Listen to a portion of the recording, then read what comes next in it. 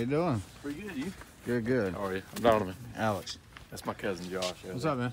I love this green. So how's the trip? Wasn't bad, wasn't bad. Um, I forgot you was an hour behind time, so we left way early this morning. Yeah, yeah, yeah. I'm putting the uh, the plugs back in this one. It's been so busy the past couple of days. I'll fill you in. Yours is what mine needs to be. You gonna get turbo? Yeah, the the Hellhorse kit. Yeah. So here we go. We're gonna change the looks of mine. We're gonna be actually swapping our front splitter back to stock. We got the MMD front splitter. Run a little bit fast.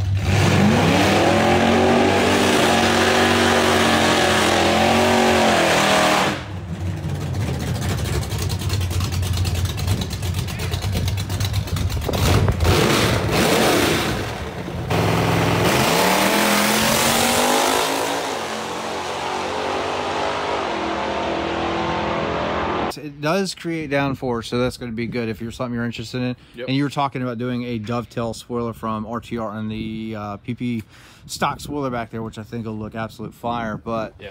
we do have my car back together. We do need to do valve springs. We got some other goodies on the way. We got tires sitting over there.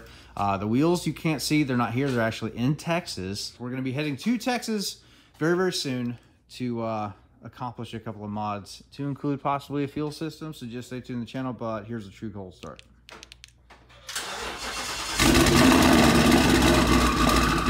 it's so cold. It doesn't it's sputtering.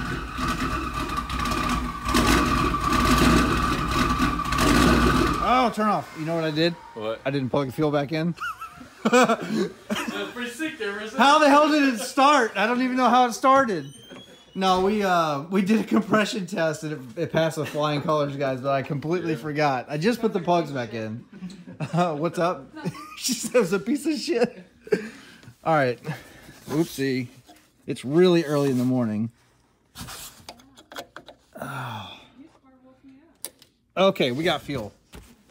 Let's try this again. Oops. Let me prime it like you're supposed to do. All right, take two. Let's try this again. I can't believe it even started. Because it was, uh, yes. Come on. Yeah, there we go. Give it a little turbo.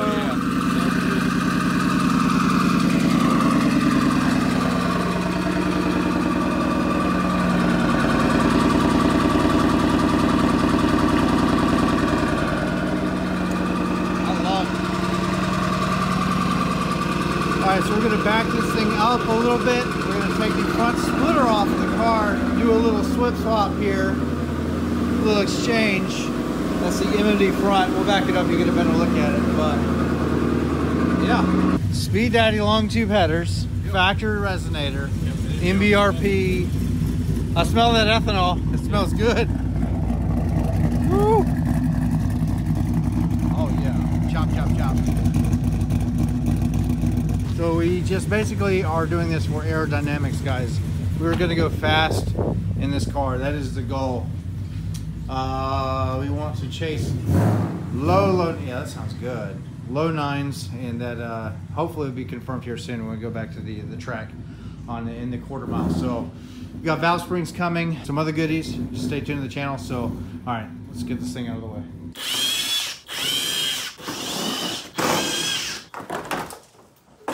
It'd be a simple video. I'll call it like, you know, Yeah.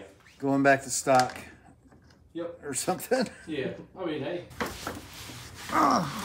So PP1 versus the MMD, and you can see the differences. I've done this before, uh, compared these, but there is a significant difference. It has the same generic shape of the, like the PP2. Yep. So instead of being, close. yeah, exactly. So- don't have the double lip.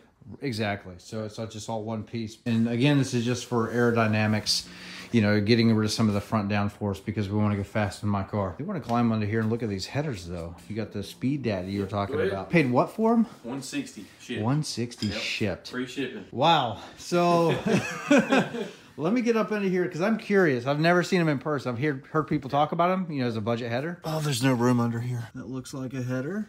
And uh, there's the steering linkage there, so no issues with fitment. You said you didn't have to bang on these at all. No, no, no hitting at all. So here we are, close to the starter, motor mounts, no banging, good fitment. Three inch 178 header. Yeah, they look fine. No issues at all. Easy install. And you're gonna take this thing to the dyno soon and Yeah. Yeah right, hopefully see have what 500 if I can. I can push it. yeah, Uh, we'll see. E85. Do you have an intake on it right now? No, just a drop-in filter. Honestly, Yeah, that's I would probably just keep Yeah. it. Yeah, Yep. intakes are cool. It might make a little bit of a difference, but E85 is the way to go. E85 is the answer exactly. So, all right, let's get to it.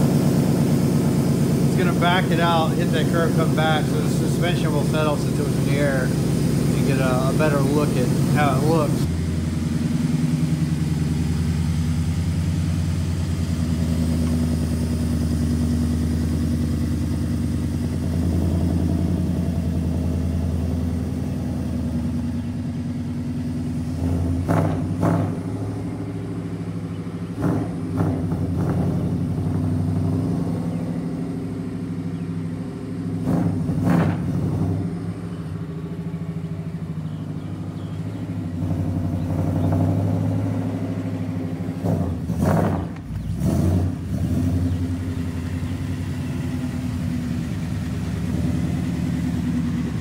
Looks good.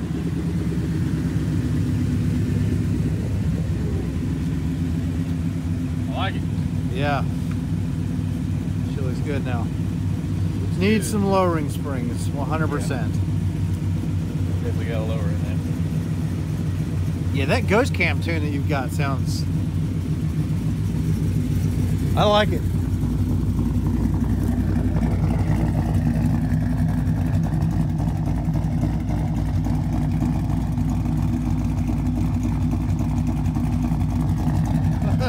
I'm a little jealous.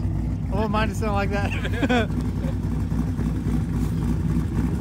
I wonder how it does with the auto cars since yours is a stick shift though. With the, uh, you know, how it drives, especially if you wanted to like daily something like that. I don't Yeah. know. But Sound good. yeah. So you happy with it? Oh yeah, I love it, man. Appreciate it. Absolutely.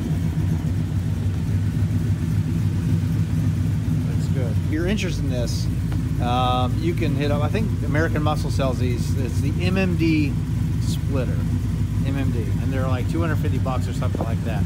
So looks good, and uh, got to get mine back on. So in a sense, we're kind of going back to stock, I guess, but looks good, man. So big plans. I'll link all of his social media and everything here, so you go follow him.